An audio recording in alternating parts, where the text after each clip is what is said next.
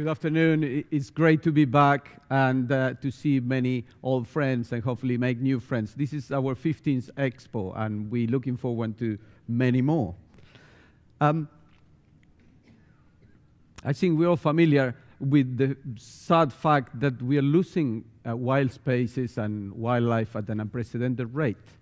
And most of the threats that are affecting wildlife arise from competition for resources between wild animals and the people that shares the land with them. Unless we address that conflict and find ways in which those resources can be more wisely used, we are going to continue to lose those species, particularly those very rare ones. We have to find a way at, at, to trans, uh, transfer somehow resources from those of us that care about wildlife and have the means to help to those that live next to wildlife and uh, are at the receiving end of that conflict. So I'm convinced that we together, with your help, we can help uh, those processes and support the changes that are required for uh, um, uh, finding uh, those solutions. In particular, I think we can help protect the Ethiopian wolves and the wonderful uh, uh, Afro-alpine ecosystems where they live in Ethiopia for the benefit of those that live next to the wolves and for the rest of the global community.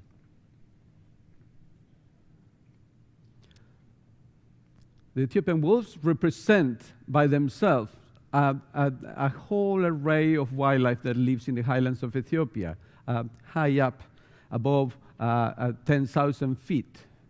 And this is the kind of habitat that I wasn't expecting to experience when I first traveled to Africa.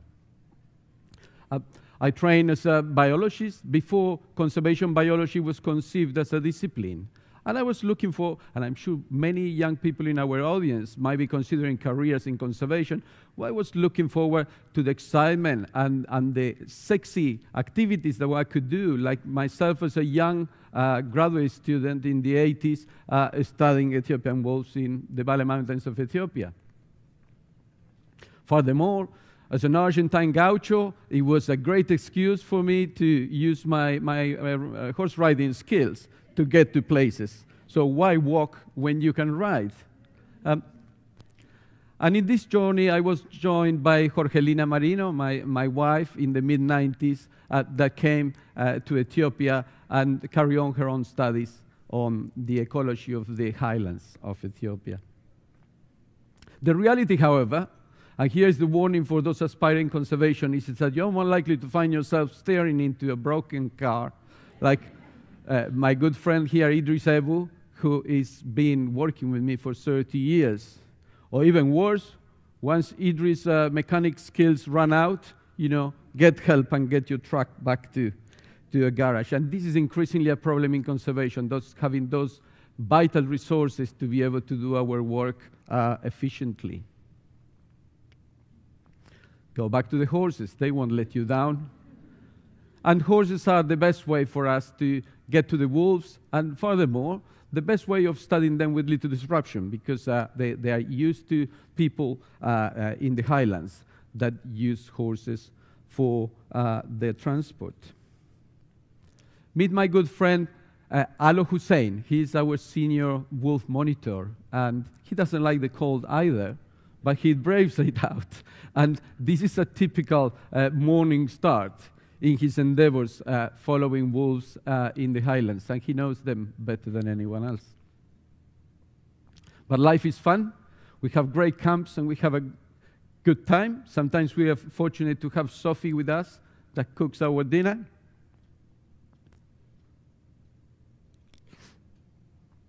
And we find ourselves lost in this somehow dreamy landscapes of the highlands of Ethiopia, where uh, more often than not, the weather closes in and it's very, very hard to find uh, our bearings. But these apparently barren lands are actually uh, teeming uh, with wildlife, but that wildlife is found underground. Um, because of the weather being so cold, uh, a strategy that pays is to have a, subterranean life and uh, benefit from those resources. And those uh, mounds you see uh, in the landscape actually are the result of activity of, uh, of rodents, such as uh, the giant rats that are like, like marmots or pikas that been working generation after generation on those soils and increasing their productivity. And you could see in the foreground a wolf in what is prime Ethiopian wolf real estate in the Bale Mountains.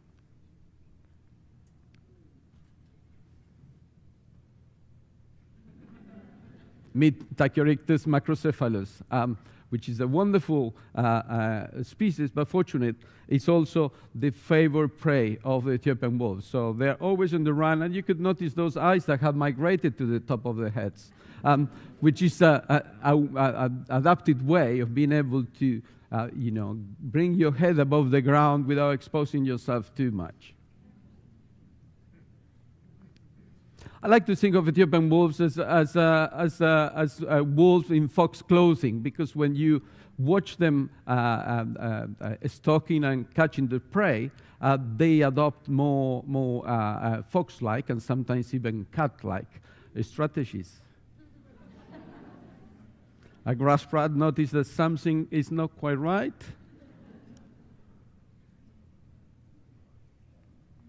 But here I want to share with you a contrast between what is a solitary foraging strategy that these wolves have, that they is, you know, they're better off being by themselves with their uh, uh, foraging for prey, because of prey being so small, uh, with a very intricate social life.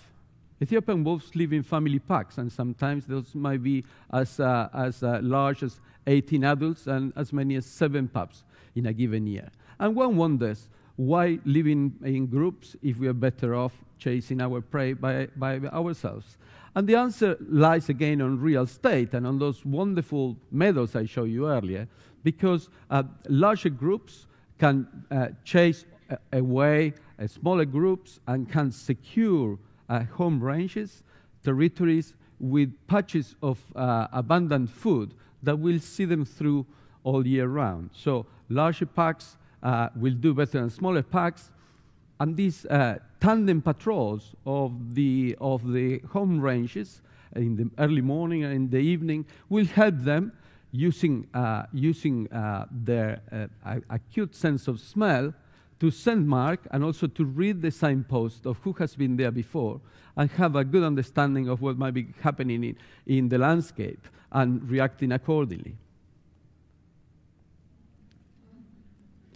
Uh, like other wolves, like other carnivores, uh, other canids rather, um, Ethiopian wolves, which happen to be uh, the rarest canid species in the world, with fewer than 500 animals surviving, and Africa most endangered uh, carnivore, uh, they breed once a year. And the dominant female of the pack will uh, have a, a, litter of six, even seven pups, um, which will uh, uh, bring up in a, in a barrow with the help of the rest of the pack. So we have a situation in which, although the mother bears the brunt of uh, raising the pups, sometimes with a little help from a, an allosuckler female, which is another female that might produce uh, milk and suckle the, the dominant female pups.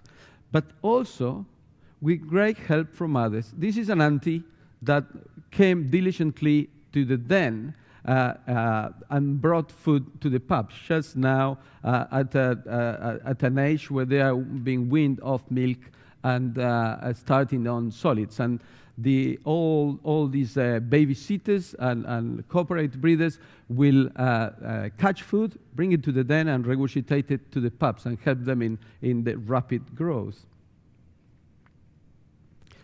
You might wonder how come we have such an intimate knowledge of these animals and their behavior and ecology. And I was very fortunate to do my studies in, in this system. We clocked over 4,000 hours of observations of those animals uh, during my early research days. And that's thanks to these open spaces, the fact that the wolves are diurnal and they're fairly tolerant of our presence, and uh, that enables you to, to watch them from a distance. And in this case, uh, we continue doing this kind of observations as part of our monitoring that enable us to know how populations are doing and how uh, the, the, reproduction is taking place and how many animals are recruited into the population. And looking into the, far into the landscape is also a way of figuring out when your dinner is coming. Uh, we have here three hungry uh, uh guys waiting for the next morsel of food. And you will see that there are also other people, young people in this case, that will use vantage points to uh, look out. In this case, there's uh, young shepherds that will be uh, keeping an eye on their, uh, uh, on their uh, herds, and that remind us that you are never very far away from people in the highlands of Ethiopia, a country with 100 million people. And indeed, even inside the protected areas where we work, uh, there are small villages and settlements which uh, um, uh, emphasize that uh, coexistence or that competition, if you wish, between people and wildlife, and the needs of people and the needs of wildlife. And that is at the center of the challenges we are trying to address. And this is not just for us, but you would have heard this in many other presentations of how we address that and we provide some benefits for the local communities while taking care of wildlife. And with people um, comes uh, livestock and they come domestic dogs. And in this case, dogs are particularly relevant because they uh, transmit uh, canine diseases to the wild relatives. And rabies and canine distemper have been the most immediate and present threat to Ethiopian wolves in the last 30 years. And sometimes when rabies strike, we might lose as many as three quarters of the affected population. So the obvious approach to try to protect our wolves from, from rabies infection uh, was uh, to consider a One Health approach. And by One Health, we mean ways in which we, by vaccinating domestic dogs, we are deriving benefits for the dogs themselves, but also for the people that owns the dogs. Uh, rabies is a deadly disease. If you uh, get bitten by a dog and you're not treated, you will die in a nasty way. And you will also be protecting wildlife. So it's a win-win situation, and we've been vaccinating thousands of dogs with the help, with your help, uh, all these years to try to prevent uh, uh, rabies to to uh, hit to the wolves. But unfortunately, uh, with so many dogs coming into the mountains and with high turnover, with people getting new puppies and bringing them in, it's very difficult to sustain that threshold of about 70% of the uh, uh, of vaccination of that uh, dog population to stop disease in the landscape. So occasionally the wolves get sick, we get permission from government, we intervene and we are able to capture and vaccine the wolves themselves. Only two years ago, when the last rabies uh, uh, um, outbreak struck in the Bale Mountains, we were able to step in and vaccinate 100 wolves. And that is about a quarter of the global population of this rare species. Only a few months ago, um, in one of the most remote uh, uh, areas where wolves are present in northern Ethiopia, uh, the, the Lanta range, we started having reports from our wolf monitors who are uh, local uh, members, uh, members of the local community that work for the project, that some animals were dying. We went in, we found some dead animals, we got those samples uh, out, we tested, and we confirmed for the first time in this particular population that rabies uh, was at work. And we're talking about a tiny enclave with only 20, 25 wolves Six of those had died uh, by, by the time we confirmed rabies. And then we uh, got permission from government to intervene.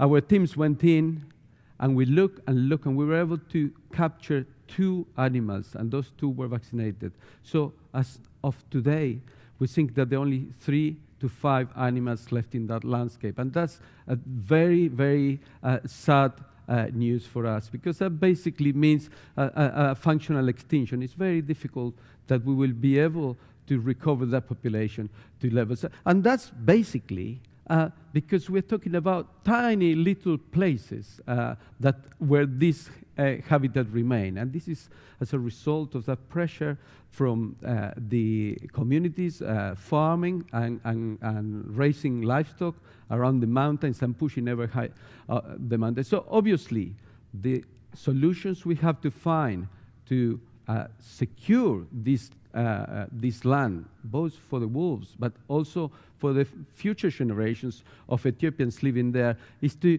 try to provide uh, for these small, these small ranges. And um, we wouldn't have known about these areas uh, without the work we started when Jorgelina uh, joined the project in the mid 90s, and we were able, after the Civil War had ended, to visit areas that had been uh, precluded for, uh, for us uh, uh, previously. So I want to pass you on to Jorgelina that will tell you the rest of the story.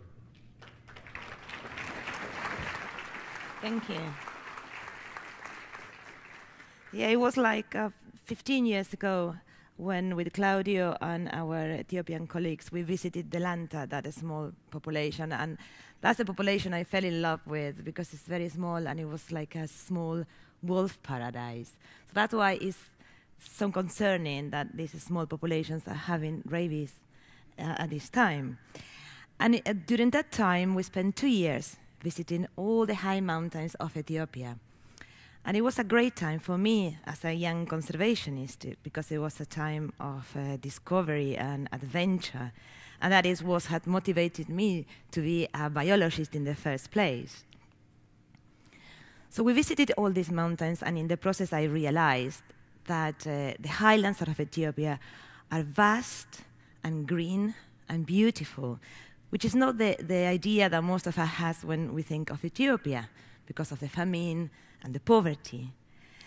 But I was living in, a, in Argentina, in the Andes, in the Patagonian Andes, and I also discovered that when you go to the mountains, all the mountains seems to be alike. As soon as you go up and up, you have the grasslands and the open places. But on the other hand, the mountains of Ethiopia are special. They have unique species, but also the people are unique and the cultures are unique. For example, the Amharic people, the people from Amhara, they have their own calendar, their own alphabet, and they have 13 months a year.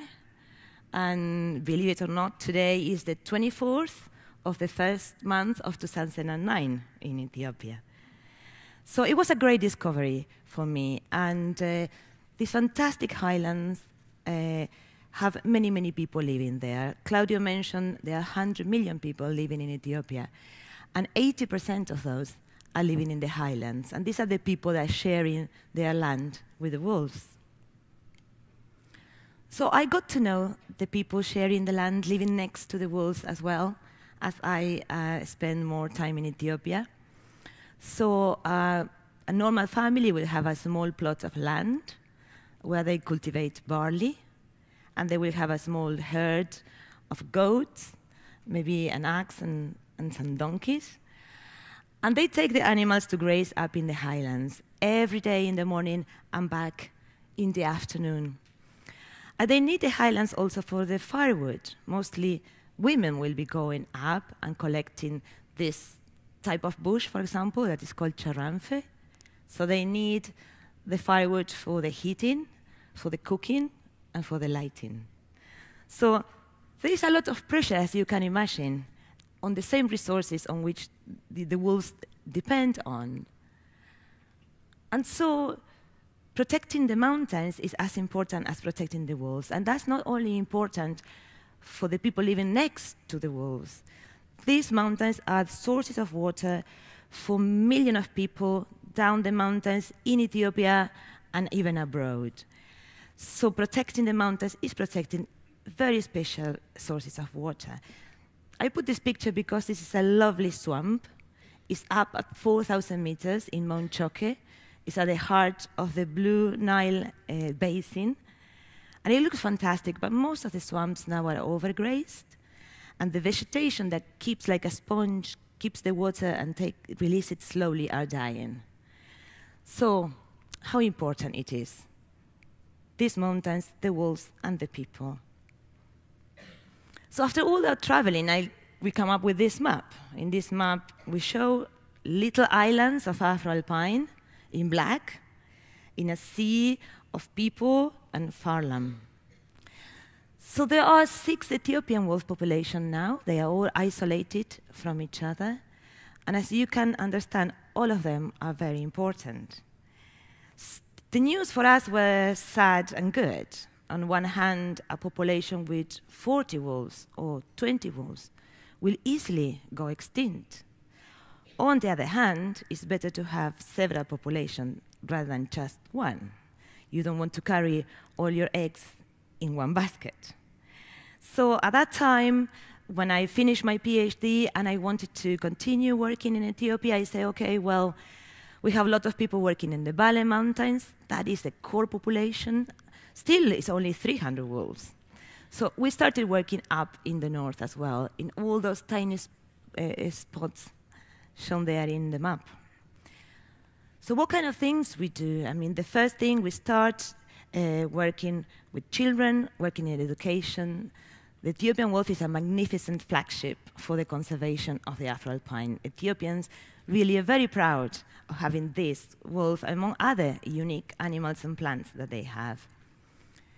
But you know, not all the children are lucky. Not all of them go to school, so they are children as young as some of you here in the audience. They are shepherds. They are the ones that go with the goats every day to the mountain. So we are also talking with them, working with them, Sometimes the children chase the wolves. You know, the wolves, as you know well, they eat rats. They don't really, they prefer to eat rats if they can. They will rarely kill livestock. Sometimes the children chase them away, and, and Ethiopian wolves need a lot of time to forage. They need time and space to catch rodents. So sometimes little things like that can help animals to be strong and to breed well and to have a healthy population. And then there was the challenge of being present in all these little populations, which is really a challenge. Some of them are very remote. And initially, we, our team was composed mostly of, by two people. Uh, our education officer, Fekadu Lema, which we know from the very beginning, and younger chap, Geve Yoroske, he's the monitoring officer, he was coming to the, all these populations trying to keep an eye on the wolves. So eventually we decided to start working with our wolf ambassadors. This, in, this photo we see Shimeles there on your right. He's the wolf ambassador from the Borena National Park, one of, the, one of those isolated mountains in my map.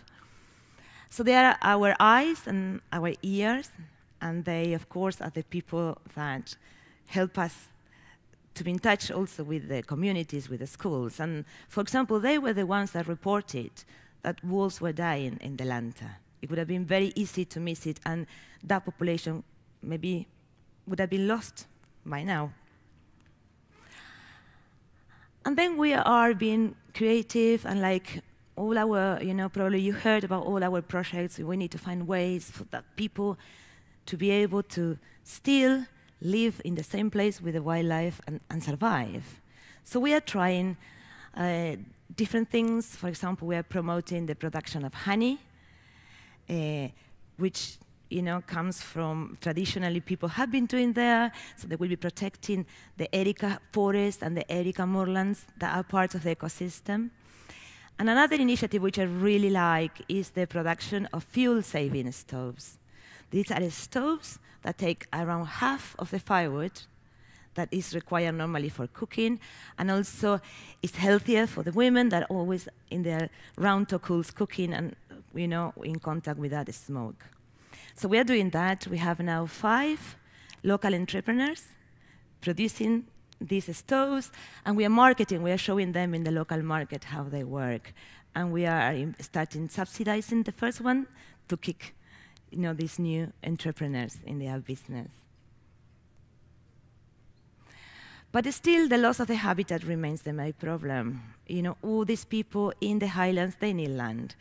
So there are new protected areas in Ethiopia, two new wolf populations are now within new or extended protected areas, but they don't have necessarily the funds or the expertise. So we're really, really enthusiastic about our work. We are starting to work with these two new protected areas in different ways. So, you know, there are many things that need to be done, and sometimes, you know, people say, why to protect those small populations? Are they doomed? We don't think they are. And the wolves are there. They are dogs. They are flexible. You know, they will. They will hang on. So, you know, your help, uh, many people in w, uh, that came to WCN has helped us a lot, and we continue. We continue needing your support. Uh, Ethiopia is a poor country, and Ethiopia won't be the same without the Ethiopian wolves. So thank you, and I pass on to Claudio to wrap it up. Stay here.